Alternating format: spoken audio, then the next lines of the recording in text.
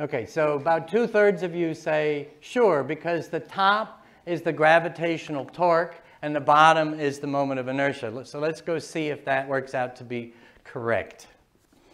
So how many different, well, how many different isolation diagrams am I going to need for this? Three, all right. So let me do the easy ones first. So I have mass, what is it, M1?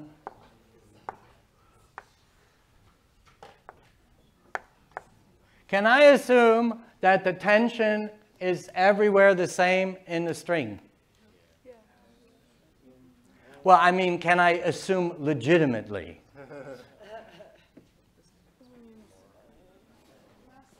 let me, let me hedge my bets and we'll see if we can make the argument. I'm just going to call T1 and T2 in case. So T1 and we have gravity M1 G and I'm going to need maybe a coordinate for this. So how about if I pick that way for x1? Okay, so I'll, I'll measure from its initial position and I'm going to treat down as positive for mass m1 since m1 is bigger than m2. So I'm expecting it to go that way. m2 looks a whole lot alike, except that if M1 goes down, I have to expect, unless the string is stretching, that M2 is going to be going up. So I'm going to use X2 being positive up to be consistent. And one more now I need to isolate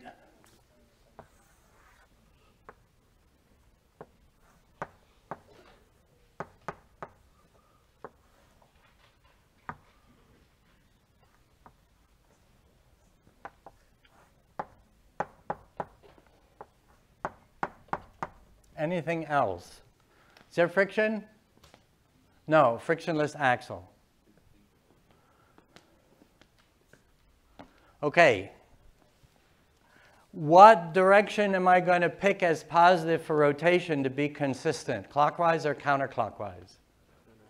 Counterclockwise, right? If, if this one goes down, it's going to turn that way. So I'm going to take that as positive for theta. Why is there a normal force? Yeah, if there weren't, the net force would definitely be down and it will fall. It didn't fall. It didn't fall? Inconceivable. All right, fine. So, all right, let's start here and get an equation of motion.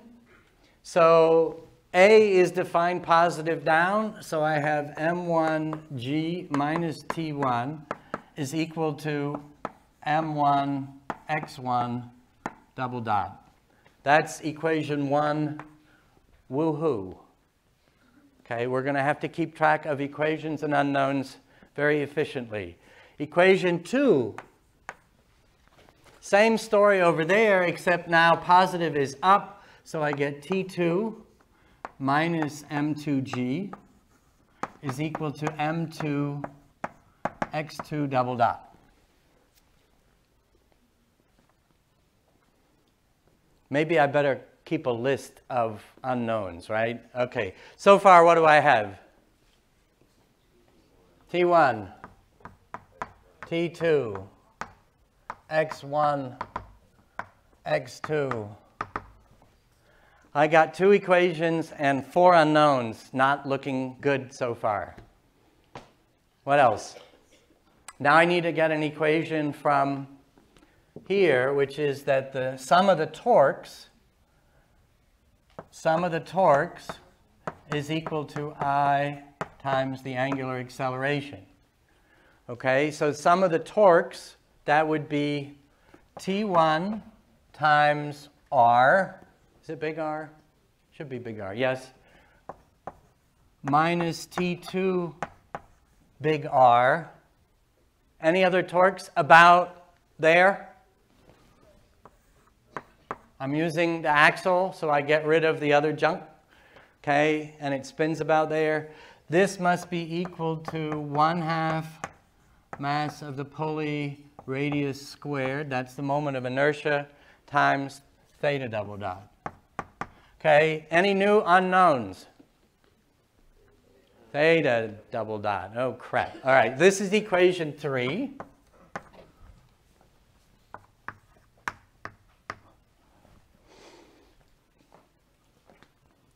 How am I going to get rid of some of these unknowns? If the string doesn't stretch, what do you know about x1 double dot compared to x2 double dot?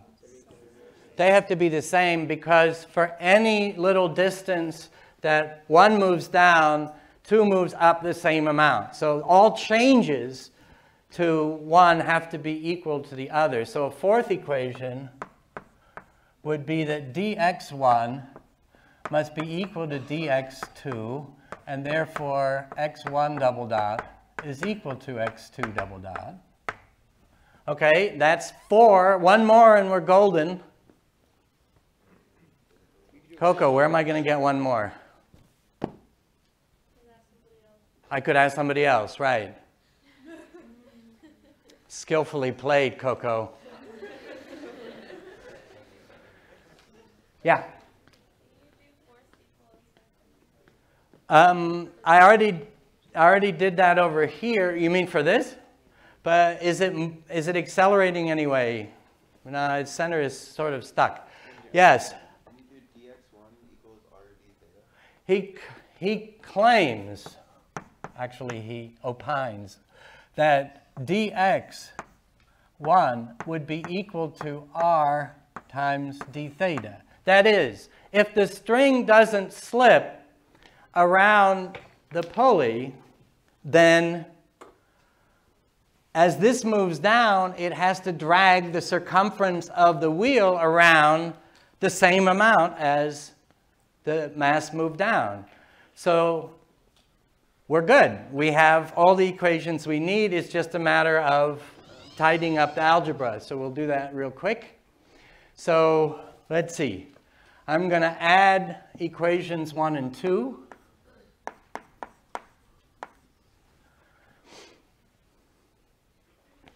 To get, let's see, m1 minus m2 times g plus t2 minus t1 is equal to m1 plus m2. And since both x double dots are the same, I'm going to drop the subscript. Okay, so that's just from adding. And that's supposed to make me see something like, oh, I don't know, 3. See, T1 minus T2 is there. So I can get rid of the tensions.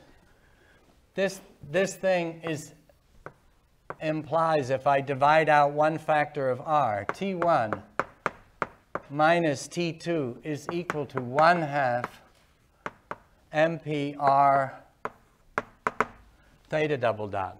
So let me stuff that in. So I have now M1 minus M2 G plus, oh wait, it's even better if I throw it to the other side because then I don't have the minus sign. So it'll be T1 minus T2 over there. So I'm going to put in 1 half MPR theta double dot plus M1 M2 X double dot.